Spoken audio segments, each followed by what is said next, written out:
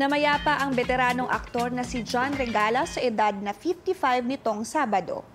Kinum- kinumpirma ito ng kanyang pamangkin at ayon sa dating manager ni Regala na si Aster Amoyo, pumanaw si Regala dahil sa cardiac arrest at iba pang sakit.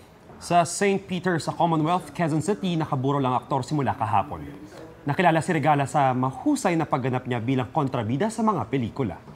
Kasama rin si Regala sa original cast ng Encantadia bilang si Apitong. Kapuso, mauna ka sa mga balita. Panoorin ang unang balita sa unang hirit at iba pang award-winning newscasts sa youtube.com slash GMA News. I-click lang ang subscribe button. Sa mga kapuso abroad, maaari kaming masubaybayan sa GMA Pinoy TV at www.gmanews.tv.